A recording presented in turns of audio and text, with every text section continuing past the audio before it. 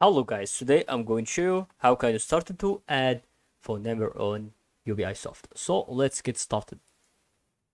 All you need to do is just to pause the video until the end and don't forget to subscribe to our channel if that goes to help you a lot in this case. And all you have to do is just to learn what's going on through this video. And actually what we can do through this is to go here through the profile icon right here and start to click on account management. Once you click on account management, you would exactly see here in front of you all the things like that. So then once you do this, you'll actually see here that you're going on through account information or maybe security or maybe privacy settings or maybe communities, transaction history, beats and tests and like that things. So after that you click here on account information.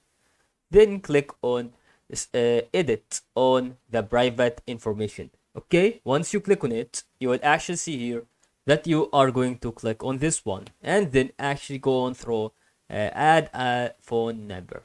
Once you click on add a phone number this will actually going on through typing your phone number and giving that two-step verification.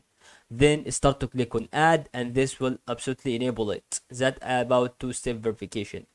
I hope you guys understood this video